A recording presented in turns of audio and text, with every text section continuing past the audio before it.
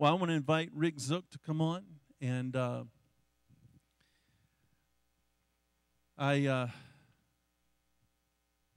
I told Rick we do two services here, and he's had to, he, he was kind enough to kind of abbreviate uh, his message for us because we do two services. And so now you're going to run over. Now what are you going to do? Talk real fast. No. So I, let, let me just tell you how we function here at Cornerstone of Augusta. Pretty much like any other cornerstone? Yeah, pretty much. we believe in ketchup. Yeah, I like ketchup. That's Like ketchup? That's my son's favorite dip. Yeah. Right. Well, the reason we believe in ketchup because if anybody has anything on the crock pot that's going to burn, ketchup covers a multitude of sin. There you go. All right. So the next crew's coming in at 11, so have at it. All right. All right? We'll, we'll welcome them in, won't we? Is anybody in a hurry this morning? Okay, good. Don't you love when your pastor asks that publicly? Does anybody ever say yes? Not yet. All right. Would you welcome would you welcome Rick? Thank you, brother. Um, I think I do. I don't know. Can you all hear me? The mic's on then. All right. Well, we are Rick and Anji Zook, and uh, our daughter Kira is 14. Our son Keen is 12. We do not have them here this morning. They're with their grandparents, and they're actually going to Broadway for a change. I think the first time since July. So they wanted that opportunity. We gave that to them. As Pastor Greg mentioned, we are supported by your faith promise giving. Uh, in part, by that, a portion comes to us, and we thank you for that. It allows us to do what we are doing. And this morning, we want to share what the Lord has been doing, where we are, and in that way be accountable to you for the gifts that you all have given to us. I do want to mention before I forget, we have a uh, new prayer card back there in the back on the table. Please take one. Anji and I may not have changed much, but the kids, of course, do grow and change. There are also some DVDs there. If you uh, know about the Ee-Taow story, I'll be mentioning that this morning. They are back there for sale. That's the only thing on the table for sale. But we would ask also that you sign up on the uh, clipboard back there for our newsletter if you are interested in. We do ask for a snail mail address because I have Amish relatives, and so we do still send out our newsletter snail mail. So, if you would uh, be interested in learning more and keeping up to date with what's going on there in Papua New Guinea with us, please do sign up for that this morning. For all of the, uh, those of you that don't know us, I grew up in various places around the U.S., and then I spent my teen years in Papua New Guinea, or PNG, as you may hear it shortened to. Uh, I was 14 when my parents went over to PNG with New Tribes Mission, and we moved into the Mouk tribe, which is a language group in the interior of western New Britain Island. I spent my high school years there uh, among the Mouk, and I learned the Mouk language. Now, Anji was blessed to grow up in a Christian family up in Broadway. She's been a part of Cornerstone as long as there has been a Cornerstone, and we met in college, and then were married the year after we graduated. Well, fast forward until the year uh, 2001, we entered training with New Tribes Mission, or NTM as we often shorten it to. During this time, God began to give us a vision uh, for how we were going to do uh, the work, the tribal mission work we were going to do. Instead of just going and evangelizing one tribe, the Lord was laying a multiplication vision upon our hearts. We thought we would plant a church among one language group, and then as those believers matured, reach out into a neighboring language group alongside of them as missionaries. Little do we know that God was going to use this vision, but in a way that we had not even uh, thought of or planned on. So, after two and a half years of training, we went to Papua New Guinea in August of 2004. Well, now, where is PNG? You may be asking yourselves. The island of New Guinea is the second largest island in the world, located just north of Australia. The eastern half is the independent nation of Papua New Guinea, and it has hundreds of inhabited islands that people live on, including the mainland. The western half of the island is under the control of the Indonesian government. Now, as to landmass, Papua New Guinea is roughly equivalent to the state of California. As for population, roughly equivalent to greater Atlanta, somewhere in that six to seven million uh, population uh, amount. One other thing you need to know about Papua New Guinea is within the country, there are 800, possibly as many as 1,000 different languages being smoke, spoken among those people. So, in a landmass the size of California, with a population of greater Atlanta, you have 800 to 1,000 different languages being spoken. You all down here in Augusta County would not be speaking the same language that we speak up in Broadway. Okay? Does that make sense? Off the co- north coast of Papua New Guinea, About four degrees south of the equator lies the 14th li- largest island in the world, the island of New Britain. On the western half of that uh, is where we live. The island itself is about 250 miles long, average of 50 miles wide. It is very volcanic in nature, and we have a lot of earthquakes because there's like five tectonic plates that come together uh, around our island. We live and work on the western end among the Lusi people uh, group, but we're going to talk about that a little bit more in a minute. Now, when we arrived in PNG in 2004, we spent some time in national culture and language study. And what we didn't know was that God had been, been preparing something in line with our vision, uh, preparing us to be working with the Mouk people group that we didn't, uh, didn't even know existed. Well, let's flash back a minute, if you will, to 1986, December 3rd, 1986, when the gospel was presented for the first time among the Mouk people group. Uh, if you have seen the Ee-Taow videos, you've seen a presentation of what happened that day. Everyone in the village believed, uh, from the smallest child up through the oldest adult. Over the ensuing years, the Mouk believers themselves have carried the gospel to every village in the Mouk language group. Um, Dad wrote Bible lessons that were not only for evangelism but also for discipleship, and the believers themselves would continue to use those for teaching and outreach as well as for feeding and growing uh, the believers. The discipleship and the evangelism continue to this day. Today, there are Mouk believers and Bible teachers. They've reached out through the entire Mouk tribe. There are more than 24 churches. There's 18 churches that are large enough to have ordained elders among them, uh, as well as ordained deacons. Now, one of these Mouk elders, uh, a man by the name of Patrick Kakus, he looked out across the northern border of the Mouk language territory, and across those cultural borders, he saw another language group, the Lusi, who were in need of the gospel. They lived in darkness and the bondage of, of sin, and they needed a missionary. And so he began to learn the Lusi language. He moved to the Lusi territory along with his family, and he began to teach a uh, Lusi couple he started writing Lusi Bible lessons, translating the Bible lessons into Lusi, and he taught that first couple through to the uh, head of the talk, the gospel presentation, and they became believers. What Patrick realizes he was doing this is while he was fully capable of evangelizing, translating the Bible lessons, doing uh, all the other work, what he was not trained to do, what he was not equipped to do, was to do the linguistic work and to do Bible translation. He didn't have the tools or the training to do those things. And once he realized this, he went back to the plurality of Mouk elders in one of their meetings and he presented this need. He said, We need outside help. And so the elders met together, they prayed about it, and what they realized is they needed to approach new tribes to ask for a Western missionary to help them with the translation work they made that request to the New Tribes liaison next time he was in there, and the New Tribes liaison came back to the Hoskins Center where we just happened to be studying national language and culture, and he presented that to the group of missionaries there. Well, now that seemed like an ideal fit because, hey, I already spoke the Mouk language. But we didn't want to just do that because that was the thing to do. We prayed about it, and we ended up joining the Mouk outreach to the Lusi people. God, in His grace, allowed us to partner with an already mature church that was reaching out into another language group. They were learning to support their own missionaries, and He allowed us to join that group. He allowed us to leapfrog ahead maybe 10, 12 years in our vision, which is a really great thing.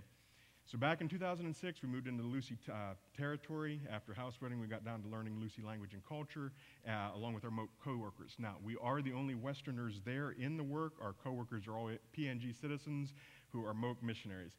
Because after we joined the work, the Mouk elders met again and appointed Kamaias and Moni to join the work uh, along with their families. And so there were four of us uh, our first term in the work.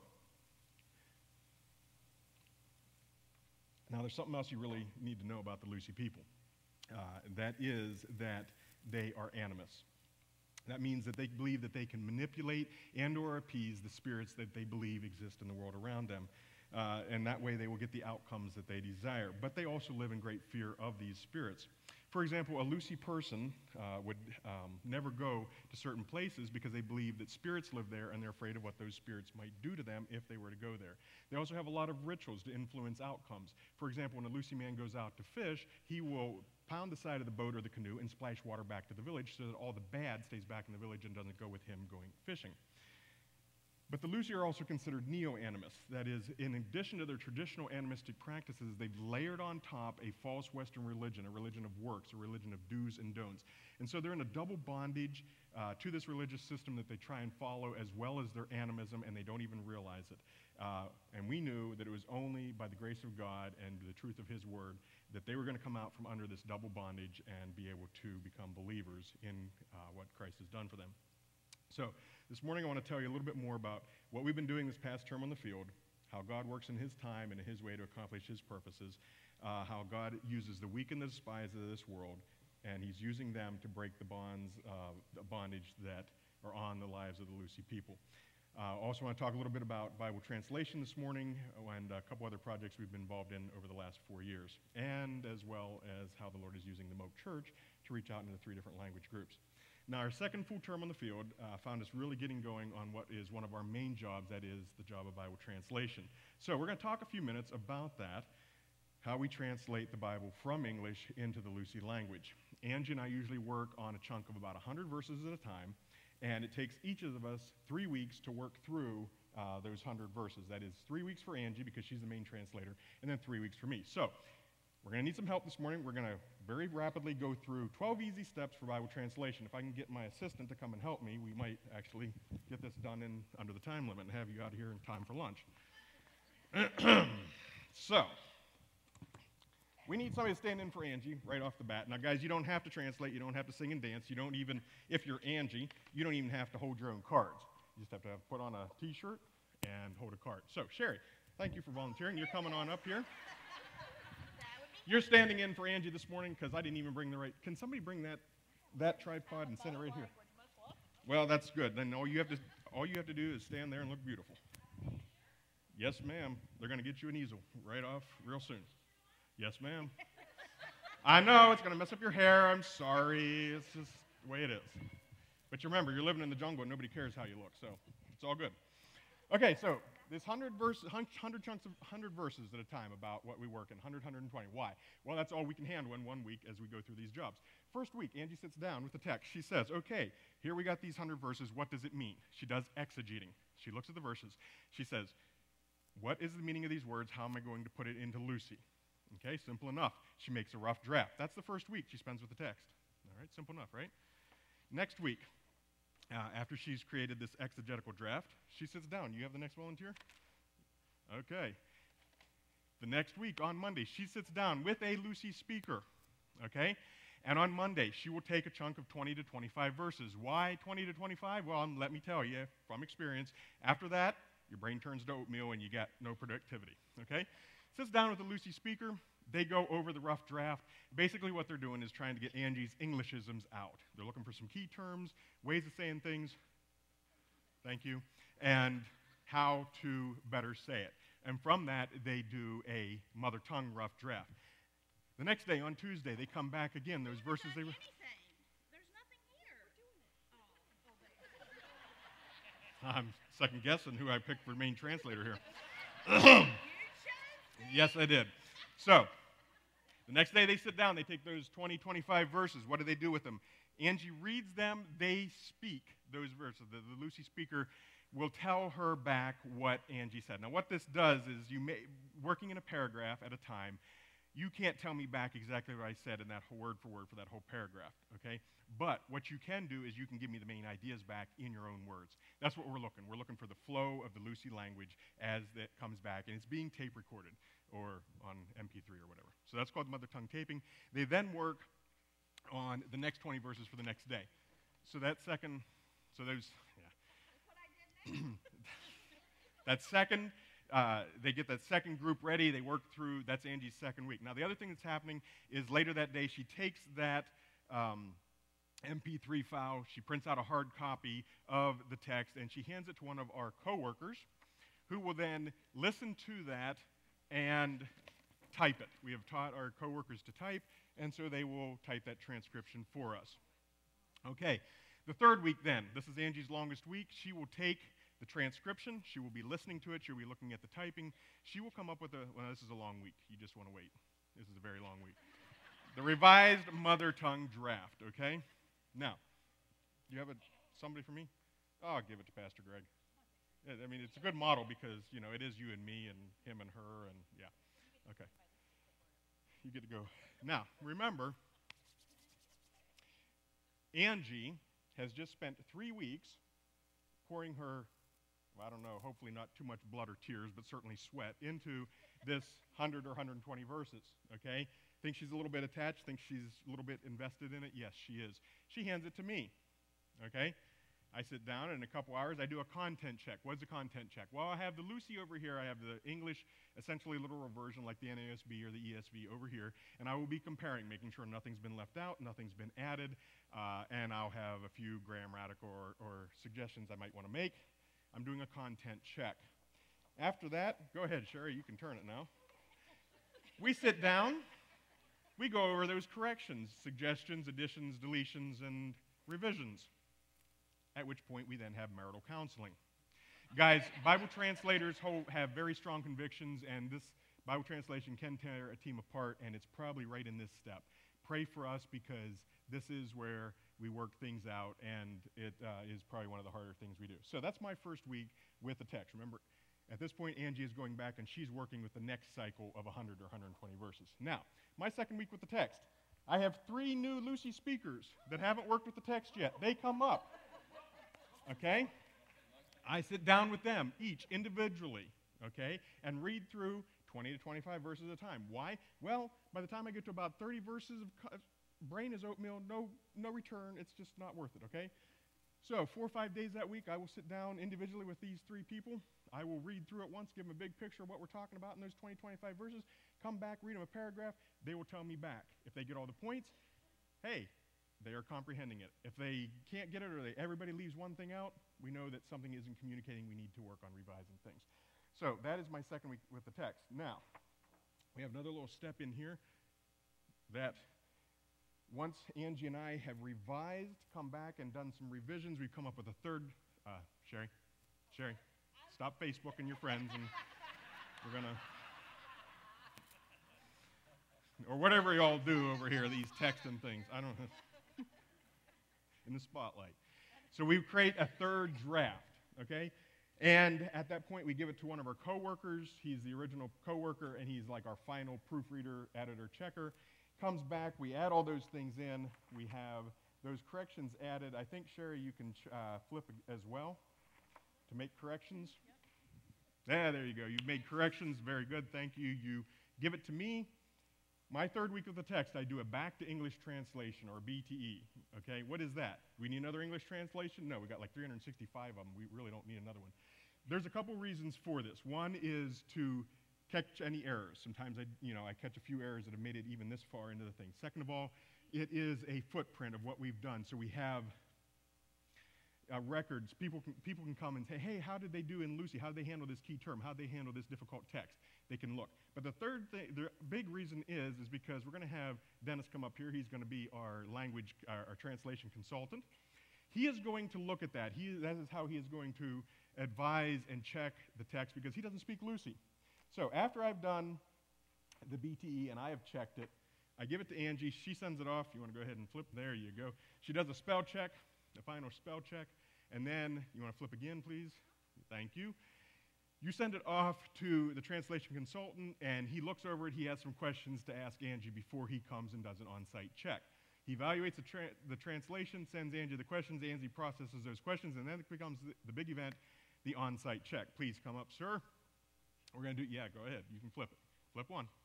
There you go. On site check. This is the big deal, guys. The translation consultant who has already done the translation in his own language comes and helps on site doing this. Now, how does he help? Well, he has in front of him the BTE, the Back to English translation that I've done. He speaks the trade language. Anji will read a paragraph in Lusi, or a verse, depending on how difficult the text is. As you can see, a new Lusi speaker that hasn't worked with this text before, right? None of this yet they've worked with. He will hear in Lusi what Anji said. He will, in his mind, translate it into the trade language, Melanesian Pidgin, and tell Dennis, our translation consultant, what he has heard. At that point, Dennis looks and translates in his head from, from Melanesian Pidgin into English, looks and sees on the paper, is that right? Has it communicated? Does it come around the circle? Every verse of Scripture gets checked this way. Okay? On a good day, doing narrative, they can do 250 verses. Okay? We have not checked epistles yet. We're not sure how fast it'll go. It'll probably go much slower at that point. Okay, after that, there's some corrections and additions that Anji might need to make in the text.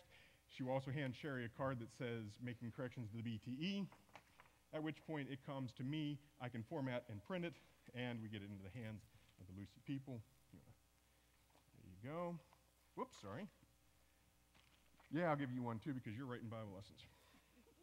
And so, this is the ultimate goal of what we're doing is to get the translated scriptures into the hands of the Lusi people so that they have the word of, the God, word of God in their own hands, in their own mother tongue, heart language, just like you and I do. All right, let's have a hand for all the volunteers. If I could have somebody just move the things to the side.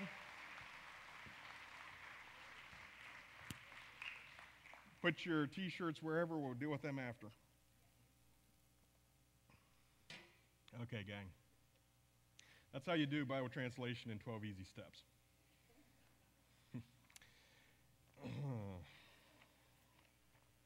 so, again, thanks to our volunteers.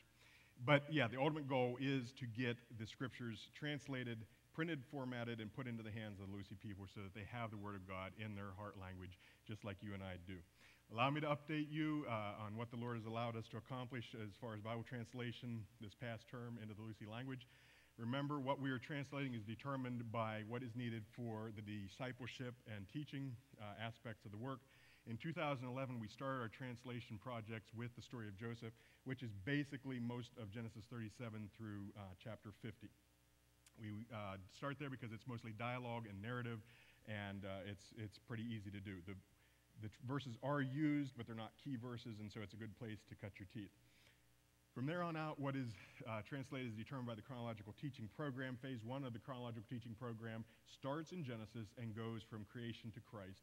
Uh, it teaches an unbeliever who God is, what sin is, um, why we need a Savior. Basically, it teaches them about the Bible from creation to Christ. Phase two looks at those same passages from the perspective of a believer.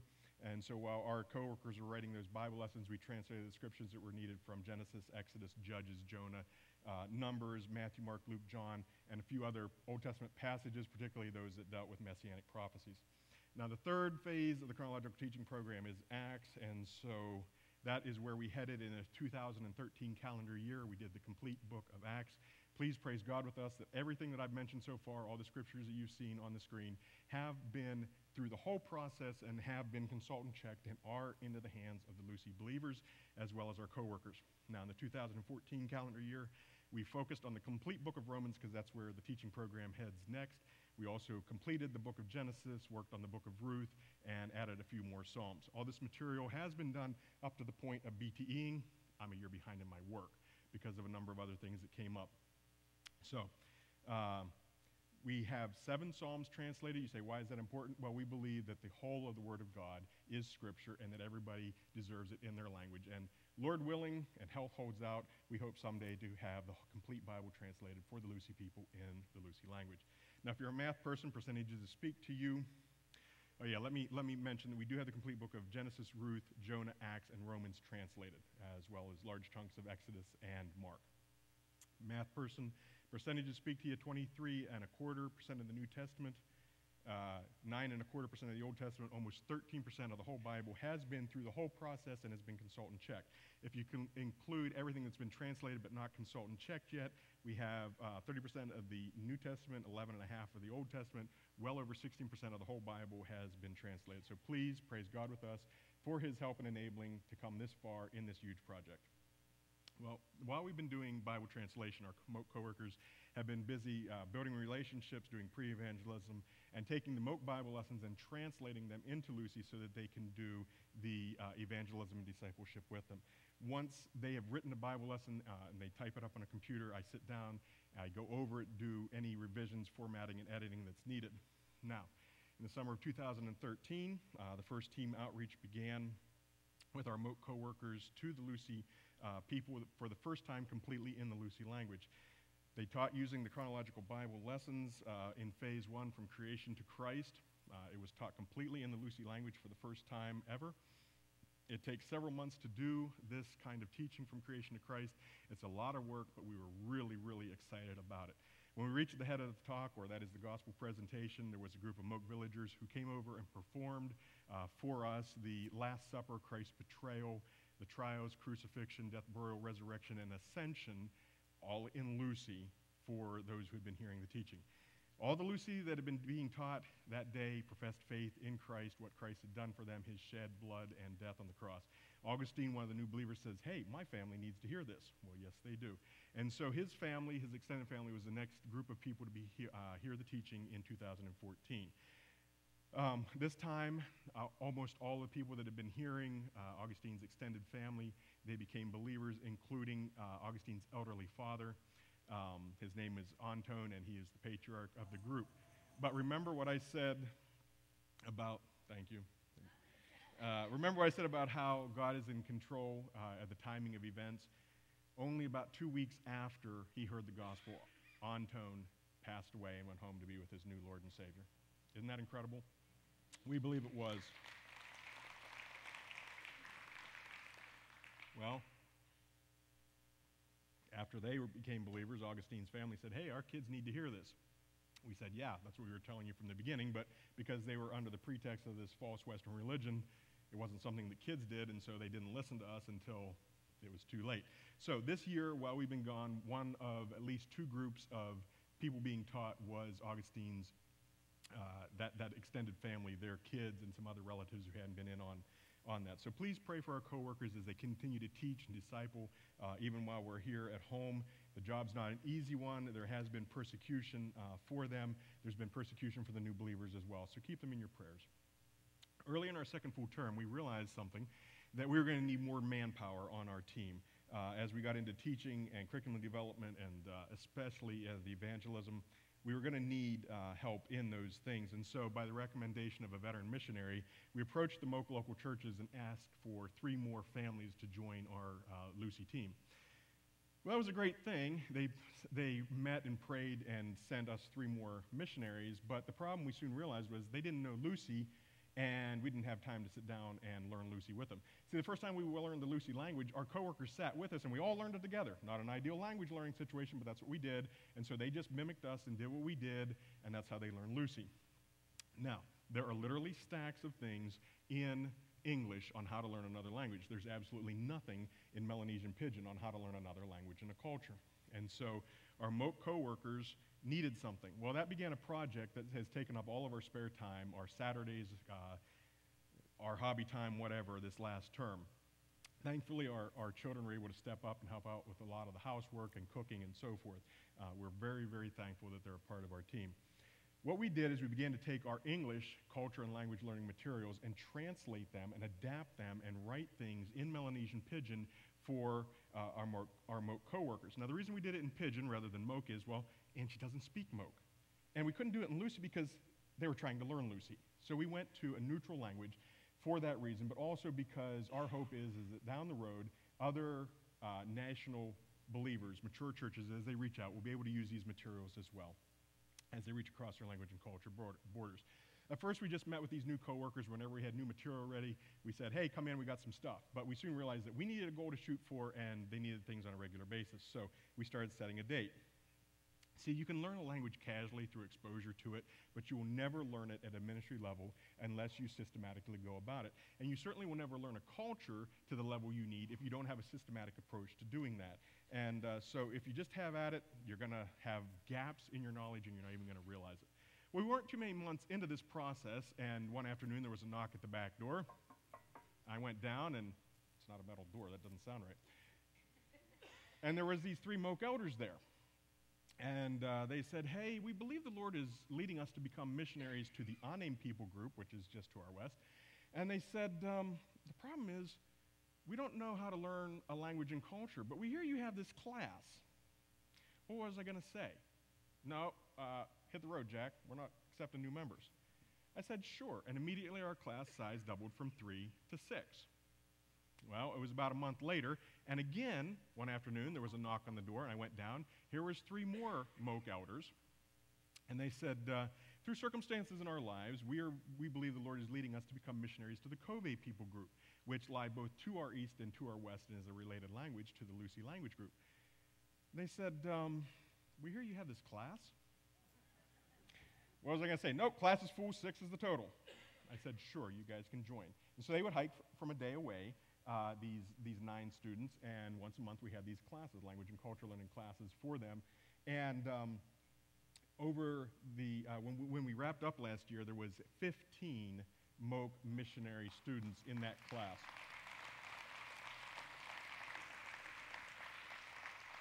Well, this is what we've developed, and uh, not all these things, all these books are polished yet, but there's four levels of both language and culture learning, working from the simplest up to the most complicated. Um, they, uh, along with our coworkers, we've written some tests and checks, exams for each level of that to make sure they're ready to go on to the next check.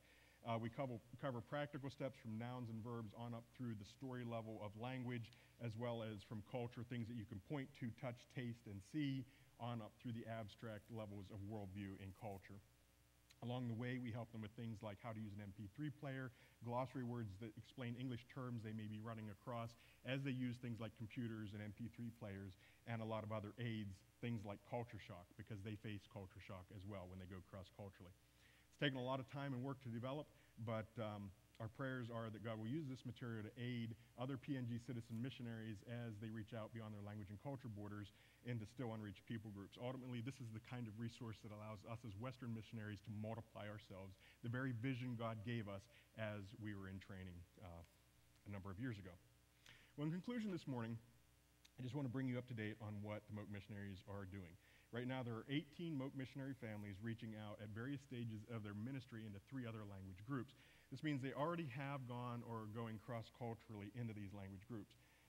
There are six families reaching out among the Kove people group. Uh, there's actually believers there. They're going, ongoing teaching, so they're trying like mad to learn the, the Kove language so that they can minister to them in their heart language. But the people are so eager to hear that there's been some teaching in Pidgin as well. So it's a messy situation, but hey, that's where we're at and that's what we're doing.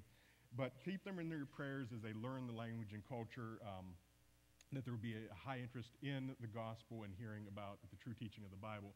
Keep them in your prayers as well because they have been persecuted. Uh, one of the men you see behind me and one of the new believers, there's a small vocal opposition, and he took an opportunity to go and pay off a policeman to come into the village and cause problems. The policeman then loaded these guys into a boat, took them out to sea, beat the two men, threw them overboard, and said, swim to shore. Well, the one guy's a good swimmer, the other guy wasn't. They made it to a bit of a reef. They got in a canoe when a lady came along and they made it back to shore. But God uh, is using what was meant for evil for good. Even though they were in, within their legal rights to prosecute these guys, they chose not to. When the guy tried to get the police to do it again, the police said, No, I'm already under God's condemnation. I'm not going to do it. You do your own dirty work. And ultimately, the guy who was causing persecution, this has all happened since we're gone, so I'm getting bits and pieces and reading between the lines here, but apparently he is now sitting under the phase one teaching, and so pray for his salvation. God will continue to work there. There's also six families working among the Anem language. They're trying very hard to find a place to locate. Again, there's a very small but vocal opposition, uh, keeping them out of the main group of the Anem people where your language and culture learning conditions are most ideal. The Anem language is, is very, very different than the Lusi language. There will be a need for a Western couple to go in there and do what we are doing to help them with the translation work like we are helping in the Lusi work. So there is a couple on the field right now. They just went in August. They're still in their orientation and their preparation things.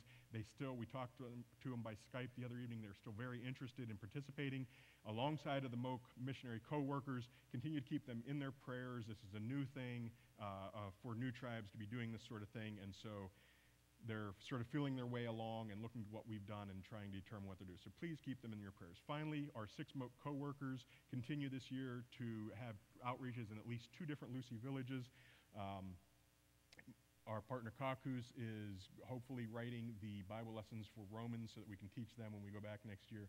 Keep them in your prayers for their health, for their safety, there is a massive drought going on in Papua New Guinea right now. All over the country, our coworkers are very much affected by it. They are eating starvation food. That means they're out in the jungle, digging up roots and hunting for whatever they can scavenge to eat.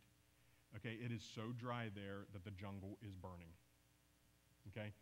It is the front end of the El Nino effect. You guys will get it next year, but the front end of it is, is that there's drought in Papua New Guinea. So pray for them. They need rain. They need rain desperately because it doesn't only affect their gardens this year, it affects how what they plant next year if they have anything left to plant this coming year. So pray for them, pray for the young Lusi Christians as they face opposition and persecution, but that their light would shine and that God would continue to uh, reach this people group and bring them out of the darkness of the animism and the false Western, the bondage of the false Western religion that they're under. That God, in His own time, using ordinary people, will continue to shine the light of truth into the hearts and minds of the Lusi people. Uh, please praise God with us for His grace and His mighty works. I leave you this morning with uh, some singing in Lusi, uh, and hopefully it'll bless your heart. So thank you for the opportunity this morning, and God bless you.